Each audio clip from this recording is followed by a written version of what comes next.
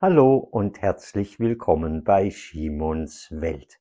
Vor kurzem habe ich einen super Artikel gelesen. Da ging es um dieses Sprichwort, der Fisch stinkt vom Kopf her. Und da wurde tatsächlich untersucht, wie das ist, wenn ein Fisch vergammelt, äh, wo beginnt es dann, dass der Fisch stinkt. Und es ist tatsächlich so, dieses Sprichwort ist richtig, der Fisch stinkt zuerst im Bereich des Kopfs. Ich wusste das nicht und ich finde das richtig spannend, dass dieses Sprichwort irgendwie, ja, so Tatsachen nach Tatsachen ist. Also eine tolle Sache. Warum sage ich euch das? Seit einigen Tagen beschäftige ich mich mit diesem Thema Fridays for Future. Äh, die Greta Thunberg, die hat ja einige Äußerungen gemacht, äh, pro-palästinensische Äußerungen, die auch so interpretiert werden können, dass sie sogar das Existenzrecht von Israel irgendwo in Frage stellt.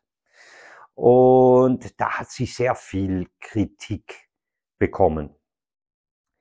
Ähm, die Greta, das muss man sich einfach mal vergegenwärtigen, ist eigentlich die Ikone der Bewegung. Mit ihr fing Fridays for Future an. Und das hat sich dann als Schülerbewegung über die ganze Welt verbreitet. Und sie ist die Galionsfigur nach wie vor.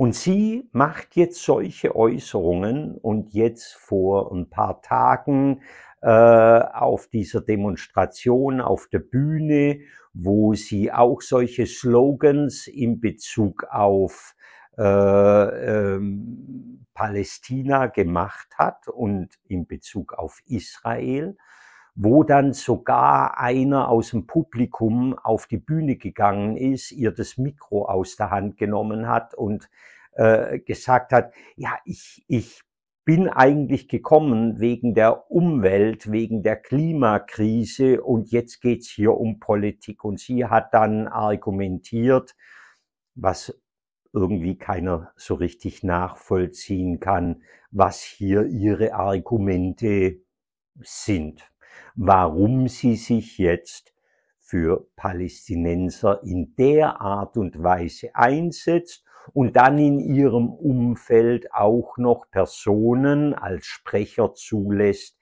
die sehr antisemitisch unterwegs sind. Der Fisch stinkt vom Kopf her. Nun geht die Diskussion so weit, dass die Frage ist, was macht jetzt der Ableger von Fridays for Future in Deutschland? Nabelt er sich ab und die äh, äh, Luisa äh, Neubauer, die ist hergegangen und hat sich abgegrenzt und hat gesagt, ja, hinter diesen Aussagen steht sie oder die Bewegung in Deutschland nicht. Aber nun ist nun mal die Greta Thunberg die Galionsfigur. Fridays for Future ist nicht zu trennen von Greta Thunberg. Ich habe einen Artikel darüber geschrieben auf Schimons Welt, auf meinem Blog, wo ich das differenziert sehe und sage, okay, es gibt Stimmen, die sagen, naja, das ist halt die Kreta, aber damit muss man nicht die ganze Bewegung in die Tonne klopfen. Äh, und Deutschland hat damit eigentlich erstmal gar nichts zu tun. Äh, und andere Stimmen wieder, die sagen, das geht so nicht. Nun muss die deutsche Bewegung von Fridays for Future ein Zeichen setzen und sagen, okay, wir spalten uns jetzt komplett ab und nehmen auch neue Namen, um hier eine klare Trennung zu machen. Ich möchte euch meine Meinung hier sagen und das ist auch der Grund, warum ich diesen Film mache. Meine Meinung dazu ist, dass das gar nicht geht. Der Fisch stinkt vom Kopf her. Und irgendwann stinkt der ganze Fisch.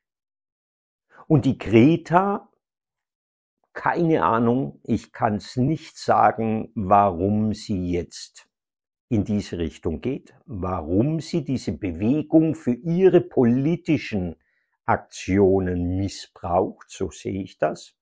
Das ist ein Missbrauch der Bewegung und ähm, das geht gar nicht. Das geht gar nicht. Sie kann nicht hergehen, auf der einen Seite Schüler gewinnen, die etwas für das Klima tun wollen, die sich einsetzen, die demonstrieren und auf der anderen Seite dann diese Bewegung als Plattform für politische Aussagen in Bezug auf Palästina, in Bezug auf den Gazastreifen, in Bezug auf den Krieg, den die Hamas gegen Israel führt. Das geht gar nicht. Und daher bleibt eigentlich überhaupt nichts anderes übrig. Luisa Neubauer muss handeln. Sie muss hergehen und muss diesen deutschen Zweig von Fridays for Future abkoppeln von dieser internationalen Bewegung. Das ist eigentlich unumgänglich.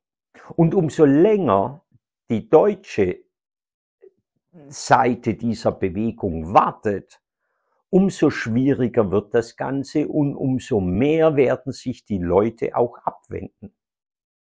Also, meine Kinder sind alle erwachsen. Hätte ich jetzt noch Kinder, die in die Schule gehen, ich würde das nicht genehmigen, dass Sie bei Fridays for Future demonstrieren. Mal ganz unabhängig, ob es Sinn macht, auf diese Art und Weise freitags die Schule zu schwänzen und zu demonstrieren fürs Klima.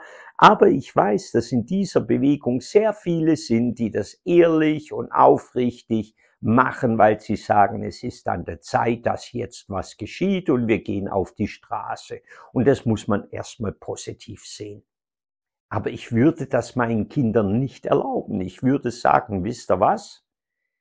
Mit dieser politischen Aussage der Greta mache ich mich nicht identisch. Und daher werdet ihr dort nicht hingehen, weil ihr euch dann auch mit dieser Aussage identisch macht. Und somit bleibt eigentlich für Luisa Neubauer nur eine Sache übrig.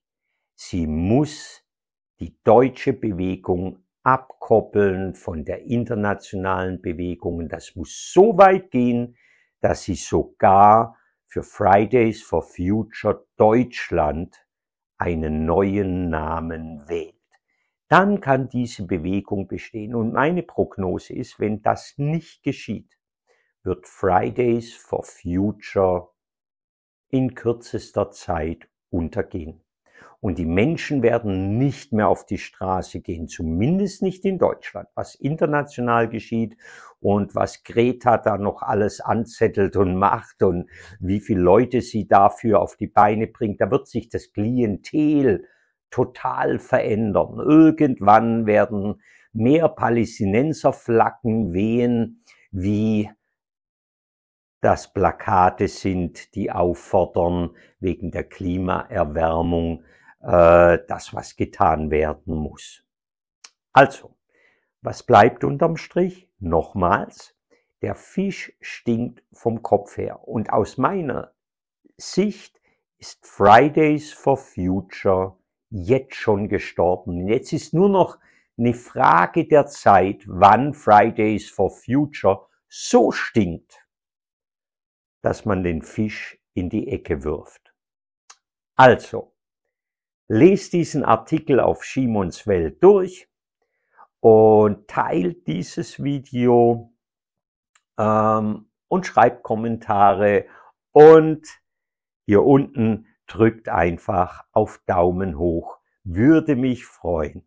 Bis zum nächsten Mal. Ciao.